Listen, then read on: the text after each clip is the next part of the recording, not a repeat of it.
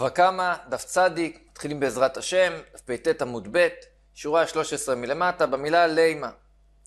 אימה וחשיכה גדולה נופלת על אברהם אבינו, כמו שמסופר בפרשת לך לך בספר בראשית. ואז הקדוש ברוך הוא מבשר לו את הבשורה הנוראה. ידוע תדע, כי גר יהיה זרעך בארץ לא להם, ועבדום, ועינו אותם ארבע מאות שנה. כאן הקדוש ברוך הוא מבשר לאברהם אבינו שעם ישראל עתידין לרדת לגלות במצרים, ושם ישתעבדו בהם ויענו אותם בעינויים קשים, ארבע מאות שנה. נשאלת השאלה, הקדוש ברוך הוא אמר שהשתעבדו ארבע מאות שנה. הרי בפועל עבדום ועינו אותם רק 210 שנה. איך ייתכן שהקדוש ברוך הוא אמר שזה יהיה 400 ובפועל זה היה פחות? הרבה תירוצים נאמרו על השאלה הזאת, אבל תירוץ נפלא ביותר מתרץ החתם סופר על פי הגמרא שלנו. בזמן שהסנהדרין היו בעיר אושה, הם תיקנו אישה שיש לה קרקעות שלה, נכסים שלה, שמתחתנת. הנכסים משתעבדים לבעל שהוא אוכל פירות.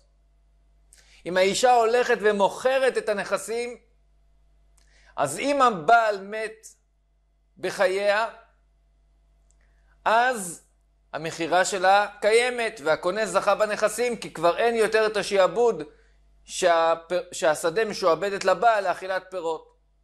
אבל אם היא מתה, אז אנחנו לא אומרים שכעת השדה כבר לא משועבדת לבעל, כי הם כבר לא נשואים, ואם כן המכירה קיימת, אלא תיקנו הסנהדרין, כשהם היו באושה, שהבעל, השיעבוד שיש לשדה, לבעל, הוא חזק, וכעת זה נחשב כמו שלמפרע מתברר שכבר כשהם התחתנו, האישה מכרה לבעל את השדה. כאילו הבעל קנה את השדה. עכשיו כשהאישה מתה, מתבררים הדברים למפרע, שהבעל היה הקונה הראשון שקנה את הנכסים, וכמובן שאם הנכסים כבר היו קנויים לו, האישה לא הייתה יכולה למכור את זה למישהו אחר. זאת תקנה שתקנו באושה. מנסה הגמרא לומר, לימה, אולי נאמר שהתקנה הזאת שתקנו באושה, שאישה שמכרה את הנכסים שלה, שמשועבדים לבעל לאכילת פירות שנקראים מכסי מילוג בחיי בעלה ומתה, הבעל מבטל את המכירה שלה ומוציא את הקרקע מיד הלקוחות, זה שנוי במחלוקת תנאים היא. כי יש שתי ברייתות שעוסקות בנושא שהוא נראה שונה לגמרי מקרקעות, אבל בעצם זה דומה. כי הרי עבדים כנעניים יש להם דין דומה לקרקעות. כמו שאומר הפסוק על עבדים כנעניים שיש לאדם, שהתורה אומרת שהוא משאיר אותם בירושה לבניו, לדורות הבאים וליורשים, והתנחלתם אותם לבניכם אחריכם, לרשת אחוזה. הקישו עבדים כנעניים לאחוזה, לקרקע. ובעצם הדין של עבדים כנעניים זה כמו קרקעות של נכסי מילוג. אישה שלפני החתונה היו לה עבדים כנעניים. נכון לזמן הקלטת השיעור, אנחנו לא מכירים ולא רגילים בדבר כזה, שאדם יהיה לו עבדים כנעניים, אבל יכול להיות שבעתיד, זאת ודאי שבעתיד, בזמן הגאולה, הרי כתוב שכל אחד שזהיר במצוות ציצית, יזכה שיהיו לו 2,800 עבדים, אנחנו צריכים להיות מוכנים עם המושג הזה שנקרא עבדים כנעניים. אישה שיש לה עבדים כנעניים והיא מתחתנת. העבדים הכנעניים האלה הם כמו נכסי מילוג. הבעל זוכה ליהנות מפרי מעשה ידיהם. הם משועבדים לבעל לפירות. עכשיו, בעבד כנעני יש הלכה מיוחדת. אם האדון הכה חבל בעבד והוציא את עינו או שינו, העבד יוצא לחירות. כאן נשאלת השאלה, מי הבעל הבית של העבד הזה? מי הוא האדון? תנא חדא, ברייתא אחת אומרת, שהאישה היא האדון של העבד הכנעני הזה. עבדי מילוג של האישה, שהבעל אוכל פירות, כי זה ההסכם כשהם נשואים, יוצאים לחופשי בשן ועין רק אם האיש, האישה חבלה בעבד, בעבדים, אבל לא לאיש. אם הוא הפיל את העין או השן של העבד, הוא לא קרוי הבעל של העבד הזה, רק היא קרויה. ותניא אידך, ברייתא אחרת אומרת שהעבדים לא יוצאים לחופשי לא אם האיש הפיל את העין או השן, ולא אם האישה הפילה את העין או השן. אף אחד מהם לא נחשב הבעלים הגמורים של העבד, של העבדים. זאת אומרת, יש גם ויכוח. במה הוויכוח? כדי לומר שהוויכוח הוא האם, תקנה, האם יש את תקנת אושה או לא, סברו בני בית המדרש לומר, דכולי עלמא, שתי הברייתות סוברות, קניין פירות, זה שהבעל יש לו זכות מפרי ידיהם של אותם עבדים, זה שמשועבדים לו לפירות, לאו כקניין הגוף דמי, זה לא נחשב שיש לו ממש חלק בעבדים עצמם. מאי לאו באקא מפלגי וכי לא בזה הוויכוח בין שתי הברייתות? דמאן דאמר, הברייתא הראשונה שאומרת שהעבדים יוצאים בשן ועין לאישה אם האישה חבלה בהם. לטלי תקנת אושה. הברייתא הזאת לא מסכימה עם התקנה של אושה. ולכן הבעל לא יכול לעכב את האישה מלמכור את העבדים האלה, ומכיוון שהיא יכולה למכור אותם, האישה שמכרה את העבדים האלה שהם נכסי מילוג בחיי בעלה, המכירה קיימת.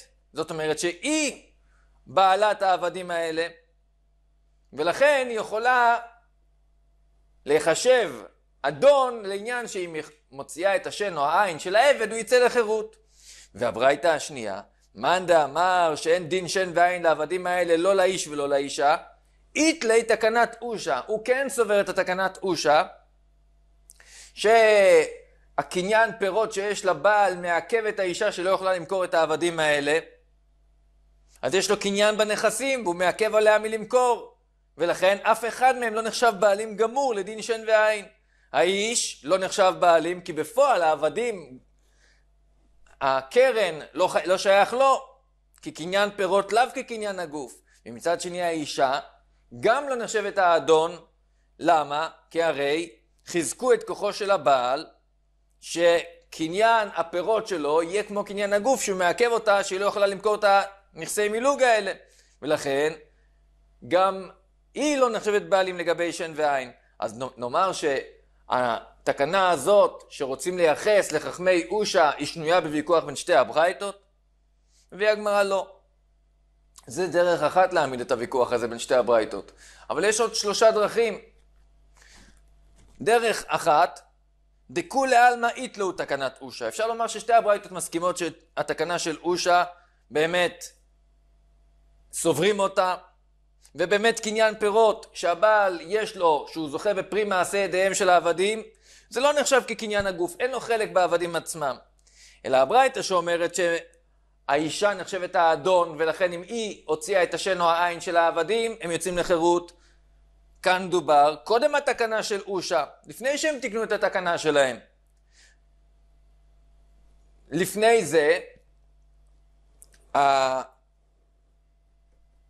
העבדים היו לגמרי בבעלותה של האישה, שהייתה יכולה למכור את העבדים, והבעל לא היה יכול לעכב כי יש לו רק עניין פירות, ואנחנו אומרים שזה לא נחשב כמו קניין הגוף.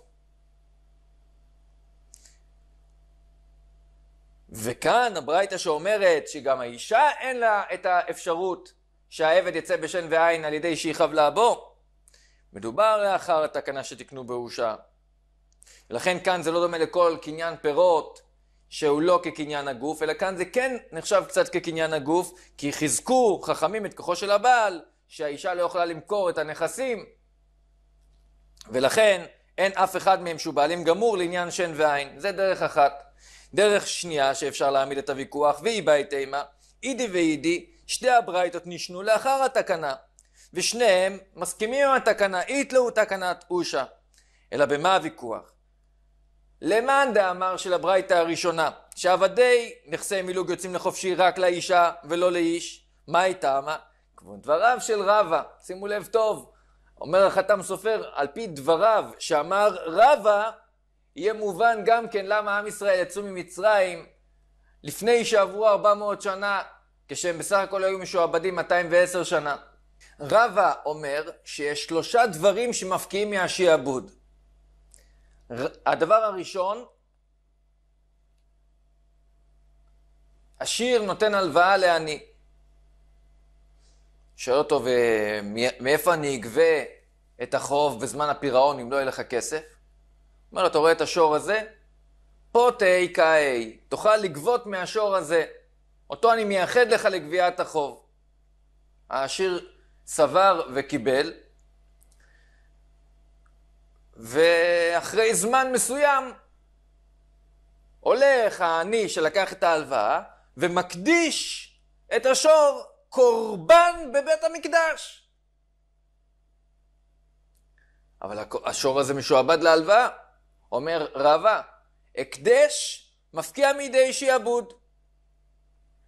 ההקדש חל, הקורבן כשר, הוא לא נקרא קורבן גזול, והמלווה יצטרך לגבות במקום אחר. דבר שני, חמץ. יהודי לוקח הלוואה מגוי. שמע מוסטפא, אני צריך עכשיו הלוואה כך וכך. ואם לא יהיה לך מאיפה לשלם?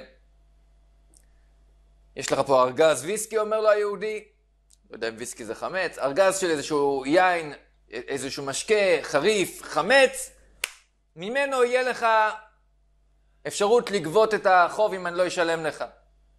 מגיע ערב פסח בזמן שהחמץ נאסר בהנאה, אף על פי שאם החמץ היה לגמרי ברשותו של הגוי, החמץ שעבר עליו הפסח ברשותו של הגוי לא נאסר בהנאה. זה כל הרעיון של מכירת חמץ, שהם מוכרים את החמץ לגוי, וזה נמצא ברשותו של הגוי בפסח, ואז זה לא נאסר בהנאה. אבל כאן, מכיוון שזה לא היה ברשותו של הגוי, זה היה אצל היהודי, רק שזה היה משועבד, משכון, להלוואה שהגוי נתן, אז במקרה הזה, כשמגיע ערב פסח, זה נאסר בהנאה. חמץ מפקיע מידי שיעבוד. חייבים לבאר את זה. ביאור חמץ, זה נאסר בהנאה, כי איסור חמץ מפקיע את השיעבוד של הנוכרי. הדבר השלישי, שחרור. אני, כנראה שהוא לא כזה עני ואביון, יש לו עבד כנעני, והוא הולך לוקח הלוואה מהעשיר. אומר לו העשיר, ואם לא יהיה לך מאיפה לשלם, זה בכל זאת סכום גבוה, מאיפה אני אגבה? אומר לו, הנה העבד הכנעני הזה, הוא יהיה בשביל ה... הוא יהיה משועבד לפירעון החוב. אחרי שאני לקח את ההלוואה, הלך נתן שטר שחרור לעבד הכנעני, שחרר אותו. שחרור גם כן, זה מהדברים שמפקיעים מידי שיעבוד. ובאמת העבד משוחרר, יוצא לחירות. אז קודם כל רואים מכאן שגם עבדי מילוג, עבד של האישה, שמשועבד לבעל, שהבעל זוכה בפרי מעשה ידיו של העבד. ואף על פי שאנחנו אחרי תקנת אושה שתיקנו, שלבעל יש כוח שהעבד משועבד אליו יותר, שהאישה לא יכולה למכור את העבד. בכל זאת, אם האישה הוציאה את השן או העין של העבד, השחרור, זה בעצם נחשב שהיא מוציאה אותו לחירות, מפקיע מידי השעבוד. אף על פי שאחרי תקנת אושה העבדי מילוג משועבדים לבעל לגבות אותם אחר מיתת האישה, אפילו אם האישה מכרה את העבדים האלה בחייה, בחייה, בחיי בעלה, בכל זאת ברגע שהיא שחררה אותם, שחרור מפקיע מידי השעבוד. זה דעת התנא הראשון של הברייתא הראשונה, שהאישה, אם היא מוציאה שן או עין של העבד, הוא יוצא לחירות. ומה הדעה של הברייתא השנייה? לימה, אתה רוצה לומר שדבריו של רבא נשנו מחלוקת תנאים היא? מה, אתה רוצה לומר שהברייתא השנייה חולקת על דבריו של רבא? שלכן אינם יוצאים לא לאיש ולא לאישה? אלא השחרור לא מפקיע מידי שעבוד? אומרת הגמרא לא. שתי הברייתות, גם זו שאמרה שהעבדים יוצאים לאישה וגם זו שאמרה שאינם יוצאים לאישה, דכולי עלמא יתלאו דרבה, הם מסכימים ששחרור מפקיע מידי השעבוד. והכה, בכל זאת, הברייתא שאמרה שאינם יוצאים העבדים, אפילו לא לאישה, הברייתא סוברת שהשעבוד של הבעל בנכסי אשתו שונה מכל שעבוד. כי עלמוה רבנן לשעבודה דבעל. חכמים חיזקו והעלימו את, עשו אותו אלים וחזק את השעבוד של הבעל, ואמרו שהשחרור לא יפקיע מידי השעבוד. אומר החתם סופר, אחד מהשלושה דברים שמפקיעים מידי שעבוד זה הקדש. אם הלווה הקדיש את השור, אז הוא הופך להיות קורבן, ואף על פי שהוא היה משועבד להלוואה למלווה. אם כן, אומר החתם סופר, הקדוש ברוך הוא הקדיש את בני ישראל לעצמו ולכבודו. אמנם היינו צריכים להיות משועבדים למצריים, על פי מה שהקדוש ברוך הוא אמר לאברהם אבינו, גר יהיה זרעך בארץ לא להם, ועבדום ועינו אותם ארבע מאות שנה. היינו צריכים להיות משועבדים ארבע מאות שנה. אבל בא ההקדש, שהקדוש ברוך הוא הקדיש את בני ישראל לעצמו ולכבודו, כמו שאומר הפסוק בירמיהו, פרק ב', פסוק ג', קודש ישראל להשם. הקדוש ברוך הוא הקדיש אותנו. ואם כן, ההקדש הזה מפקיע מידי שיעבוד מצרים. כך אומר החתם סופר בפרשת לך לך. אם כן, יש לנו עד עכשיו שני דרכים נוספות איך לבאר את הוויכוח בין שתי הברייתות לעניין מי יכול, או יותר נכון, מי לא יכול לשחרר עבד כנעני שהוא נכסי מילוג. ברייתא אחת אומרת שהאישה יכולה, וברייתא אחרת אומרת שגם האישה לא יכולה. לא משחררת על ידי שהיא מוציאה את השן או העין. מביאה הגמרא כעת את האפשרות השלישית לבאר את הוויכוח בין שתי הברייתות. והיא בהתאמה, דכולי עלמא לט להו לעני תנאי תקנת אושה. באמת, כולי עלמא, דהיינו שתי הברייתות, לא סוברים את תקנת אושה. עד עכשיו העמדנו את התירוצים שכולם סוברים את תקנת אושה. כעת אומרת הגמרא, אפשר לומר ששניהם לא סוברים תקנת אושה. והם שניהם לא סוברים שאם האישה מוכרת בנכסי מילוג בחיי בעלה, אז אפילו אם אחר כך מתה, זה לא עובר לידי הקונים, אלא הבעל מוציא מיד הלקוחות. שתי הברייתות סוברים שלא. וכמו בכל מקום שאומרים שקניין פירות, יש דעה שסוברת שאם אדם יש לו קניין של פירות, שהחפץ משועבד לו, שהוא זוכה בפירות. יש דעה שסוברת שזה לא נחשב כקניין הגוף. אז גם כאן, הזכות של הבעל בנכסי אשתו היא לא עדיפה יותר מכל אחד שיש לו קניין פירות באיזשהו דבר, שהדבר הוא משועבד לו לפירות. והכה כאן הוויכוח בין שתי הברייתות זה בקניין פירות, אם הוא כקניין הגוף דמי או לא, בזה כמפלגי. הברייתא הראשונה שאומרת שהאישה, אם היא הוציאה את השן או העין של העבד הכנעני, הוא יוצא לחירות. היא סוברת שקניין פירות שיש לבעל זה כלום לעניין העבד עצמו. זה לא כקניין הגוף. בעבד עצמו אין לבעל שום אחיזה. ולכן רק האישה יכולה להוציא אותו לחירות. והיא כן יכולה.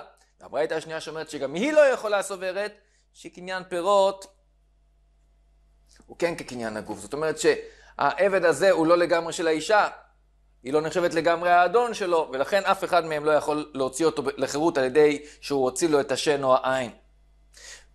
ובזה הוויכוח. ובפלוגתא דעני תנאי, והוויכוח שלהם זה בוויכוח בין תנאים שבאמת התווכחו בעניין הזה האם קניין פירות הוא כקניין הגוף או לא. אנחנו כעת עוברים באמת לוויכוח הבא. אחרי שסיימנו באמת להעמיד את הוויכוח בין שתי הברייתות בארבע אפשרויות, כן, באפשרות הראשונה שהם חולקים בתקנת אושה, ואז בשלוש האפשרויות הנוספות שהם חולקים בוויכוח אחר. כעת עוברים לנושא הבא, שבאמת יש ויכוח תנאים, האם קניין פירות הוא כמו קניין הגוף או לא. בפלוגתא תנאי דתניא. הברייתא מדברת על אחד שהיה לו עבד כנעני, והוא מוכר אותו למישהו אחר, לקונה, רק מה, המוכר אומר לקונה, תראה, אני מוכר לך את העבד הכנעני, ייקח לי אבל 30 יום להתרגל, עכשיו במשך 30 יום הוא יעבוד עדיין אצלי, אחרי שעוברים 30 יום הוא העבד שלך לכל דבר. פסק עמו על מנת שישמשנו שלושים יום. נמצא שבמשך השלושים יום האלה, קניין הגוף של העבד של הקונה, אבל קניין פירות של המוכר. יש ויכוח מי נחשב האדון שלו. והנידון כאן זה לגבי מה שאומרת התורה, אחד שרוצח יהודי חייב מיתה. עכשיו, אם הוא רוצח עבד כנעני, הוא גם חייב מיתה. אבל אומרת התורה, אדון שהרג את העבד הכנעני של עצמו, אז אם העבד מת מיד, האדון הזה רוצח, הוא חייב מיתה. אבל יש חידוש שאומרת התורה. אם יום או יומיים יעמוד, יום שהוא יומיים דורש, את, דורש המחילתא, דורש המחילתא בספר שמות, שזה הכוונה יום שהוא יומיים, דהיינו יהיה ממש שלמה של 24 שעות. אם העבד הכנעני נשאר חי 24 שעות אחרי המכה ורק אחר כך הוא מת, לא יוקם, לא נוקמים, לא מענישים את האדון, כי כספו הוא. אבל זה דווקא מי שהאדון. אם הוא היכה את העבד כנעני, והעבד כנעני לא מת מיד, אלא רק אחרי 24 שעות, הוא לא חייב מיתה. עכשיו, השאלה היא, יש פה אחד שיש לו קניין הגוף, שזה הקונה, ויש כאן אחד שיש לו קניין פירות, שזה המוכר. מי נחשב? האדון. רבי מאיר אומר, קניין פירות שיש למוכר זה כקניין הגוף דמי. הוא נחשב בעל קניין, הוא נחשב הבעלים של העבד הזה. נחשב הבעלים העיקרי של העבד, ולגביו נוהג הדין של יום או יומיים. הראשון המוכר ישנו בדין יום או יומיים, מפני שבפועל העבד הוא תחתיו של הראשון. כי, כמו שאמרנו, רבי מאיר סובר, קניין פירות כקניין הגוף דמי. דעה שנייה, רבי יהודה, הוא סובר הפוך. הוא אומר, קניין פירות של המוכר זה לאו כקניין הגוף, זה לא כקניין הגוף. אלא הקונה, שהוא יש לו קניין הגוף, הוא הבעלים העיקרי של העבד. לכן השני, הקונה, הוא ישנו בדין יום או יומיים, מפני שהוא כספו. כסבר רבי יהודה, קניין פירות של המוכר, לאו כקניין הגוף דמי, אלא רק הקונה, הוא נחשב האדון. רבי יוסי מסתפק. לכן הוא אומר, כאן אתה רוצה להרוג את הרוצח, זה עניין פה של uh, ספק נפשות. אז מספק אתה לא הולך להרוג אף אחד מהם. לכן שניהם ישנם בדין יום או יומיים. המוכר הזה מפני שהוא תחתיו, והלוקח הזה מפני שהוא כספו. מספקא ליה לרבי יוסי, האם קניין פירות היא כקניין הגוף דמי, והמוכר ישנו בדין או יומיים? היא לאו כקניין קניין פירות כקניין הגוף דמי והמוכר ישנו בדין יום או יומיים, היא לאו כקניין הגוף דמי, או שזה לא נחשב שיש לו קניין בגוף העבד, ואז אם כן, רק הקונה שיש לו קניין בגוף העבד הוא נחשב האדון, ומכיוון שיש כאן ספק נפשות, הולכים להקל, והכולה נוהגת בשניהם. רבי אליעזר אומר, שניהם אינן בדין יום או יומיים. לא משנה מי הרג את העבד, אפילו אם העבד נשאר 24 שעות חי, הרוצח חייב מיתה. זה הקונה לפי שאינו תחתיו, וזה המוכר לפי שאינו כספו. אמר רבא, מה עמד רבי אליעזר? הרי יש פה אחד מהם שהוא לכאורה בעלים של קניין הגוף בעבד.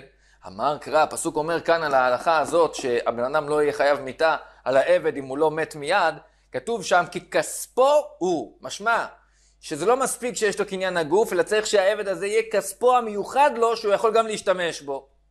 אומרת הגמרא, כמן אזלה, כמו מי מבין התנאים, נאמרו, הדה אמר המימר, איש ואישה שמכרו, אפילו שניהם יחד, בנכסי מילוג, לא עשו ולא כלום, וכשמת אחד מהם השני מוציא מיד הלקוחות, כמן כמו דעתו של רבי אליעזר, שאמר שבשביל להיקרא בעלים לא מספיק שאחד יש לו קניין עיקרי בנכס, אלא צריך שיהיה גם שלו וגם מיוחד לשימוש שלו. וכיוון שבנכסי מילוג הבעל יש לו רק אפשרות להשתמש והאישה יש לה רק קניין הגוף, אז אף אחד מהם אין לו דין של בעלים.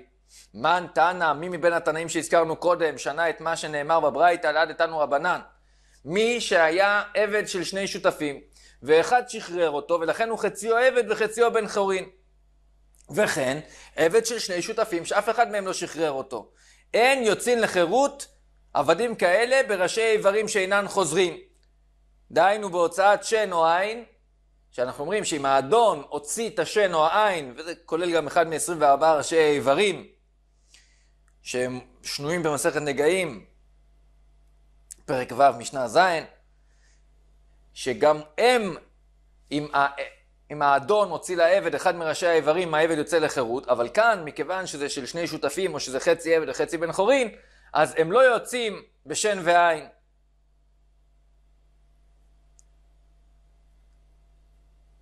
מי, התנ... מי מבין התנאים סובר את מה שנאמר כאן בברייתא? אמר לי רב מרדכי לרב אשי, אחי אמרי משמי דרבה, ככה נאמר בשם רבה, שהברייתא הזאת היא כמו דעתו של רבי אליעזר היא. מי לא אמר רבי אליעזר שמה שכתוב כספו לגבי דין יומו יומיים, הכוונה מיוחד לו?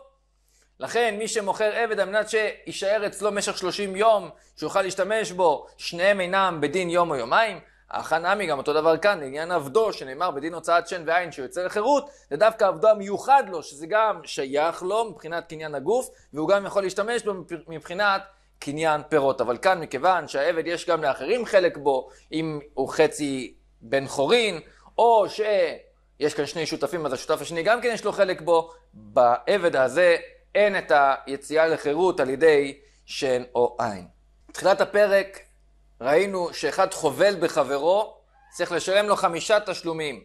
נזק, שהבן אדם ניזוק, על הצער שהוא הצטער, על דמי הרפואה, על הימים שהוא שובת ממלאכה כשהוא נופל למשכב, ותשלומי בושת. כאן מביאה המשנה שיעורים על תשלומי בושת. התוקע לחברו, פירוש אחד מביא רש"י, תוקע לו, כנראה בשופר, בתוך האוזן, מבייש אותו בזה. או פירוש אחר מביא רש"י, לשון מורי, שהוא היכה אותו על אוזנו. הוא בייש אותו. נותן לו סלע. בדף ל"ו הגמרא מעמידה שמדובר כאן על סלע מדינה, שזה שמינית מסלע צורי, שזה הסלע היקר יותר.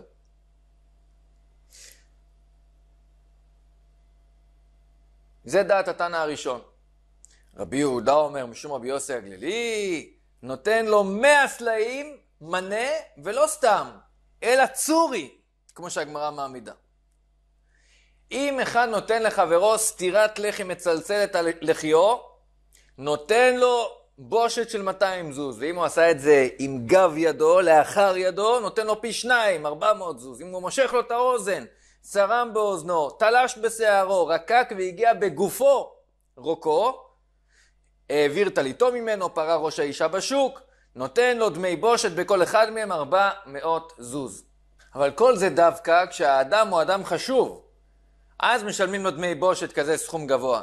אבל זה הכלל, הכל לפי כבודו. אם הוא אדם פשוט יותר, עני למשל, אז משלמים לו דמי בושת סכום נמוך יותר, לפי כבודו. אמר רבי עקיבא, אין הפרש בתשלומי הבושת. אפילו עניים שבישראל לא מעריכים אותם כפי עניותם, אלא רואים אותם כאילו הם בני חורין, אנשים חשובים, שירדו מנכסיהם, אבל הם עדיין בחשיבותם, לפי שכולם הם בני אברהם, יצחק ויעקב. במעשה, באחד שפרה ראש האישה בשוק, בת לפני רבי עקיבא, ורבי עקיבא חייב אותו ליתן לה 400 זוז דמי בושת. אמר לו, רבי, תן לי זמן, אני אוכיח לך שהאישה הזאת לא מגיעה לה דמי בושת כאלה יקרים, היא לא כל כך מחשיבה את הכיסוי ראש של עצמה. ולכן אמר לו, רבי, תן לי זמן, אני רוצה להוכיח לך שאני פטור. ונתן לו זמן. המתין לה, שמרה, עד שראה אותה עומדת על פתח חצרה, ושיבר את הכד שמן בפניה, ובכד היו כעיסר שמן, שמן מועט בשווי עיסר, שהוא שמונה פרוטות. גילתה את ראשה בשביל שמונה פרוטות, והייתה מטפחת ידיה בשמן ומנחת ידה על ראשה כדי לסוך את שערה בשמן. הלך קרא מהר לשני עדים, העמיד עליה עדים שהיא באמת ככה עשתה, שהיא מוכנה לגלות את ראשה בשביל שמונה פרוטות, ובא לפני רבי עקיבא, אמר לי, לזו שבשביל שמונה פרוטות אין הבעיה לגלות את ראשה, והיא מראה שהיא לא מקפידה על בושת, אני נותן לה 400 זוז? אמר לי רבי עקיבא, לא אמרת כלום. החובל בעצמו, אף על פי שאינו רשאי, פטור, אבל אחרים שחבלו בו חייבים. וכן, הקוצץ נטיותיו, אילנותיו של עצמו, אף על פי שאינו רשאי שהוא עובר משום בעל תשחית, הוא פטור, אבל אחרים שקצצו את הנטיות שלו, יהיו חייבים לשלם לו. מה שרבי יוסי הגלילי מחייב את מי שתוקע לחברו, דמי בושת, מנה, מאה סלעים. היא באה אלוהו, האם מדובר פה על מנה צורי תנן, שזה פי שמונה ממנה מדינה, או, מדי, או מנה מדינה תנן, שזה שמינית מצורי. מביאה הגמרא, מדובר פה על מטבע יקר של צורי. תשמע, דאו גברא היה אחד, דתקע לי לחברי, תקע לחברו באוזנו, בדיוק כמו המקרה שעליו המשנה מדברת. עתה לקמי דרבי יהודה, נשיאה, אמר לי, האנה, הנה אני, הרבי יוסי הגלילי, יש כאן את רבי יוסי הגלילי, הב לי מנה צורי, תן לו מנה צורי. בכל אופן רואים כאן שהוא אומר לו מנה צורי, שמע מינה, שרואים שהמנה שנאמר, הכוונה צורי, כי מדברים על דעתו של רבי יוסי הגלילי של המשנה, וזה אותו רבי יוסי הגלילי כאן בסיפור הזה. שמע מינה. עכשיו מבארת הגמרא, מה, מה מתכוון רבי יהודה נשיאה לומר לאותו אחד, כאן אני, וכאן רבי יוסי הגלילי, תן לו מנה צורי. מהי הענה הרבי יוסי הגלילי? מביאה הגמרא על זה שני הסברים. הסבר ראשון, אי לימה, אם נאמר, הכי אמר לי, הענה דחזיתך, הנה אני שאני עצמי ראיתי איך תקעת להוא באוזן. והרבי יוסי הגלילי דאמר מנה צורי, והנה יש את רבי יוסי הגלילי שמחייב על זה מנה צורי, ולכן זילב לי מנה צורי, והוא כבר הופך גם להיות דיין שמחייב אותו מנה צורי. למימרא, אתה רוצה לומר לי שאותו רבי יהודה נשיאה שהיה עד, הוא נעשה דיין, שהוא דן את אותו אחד שתקע?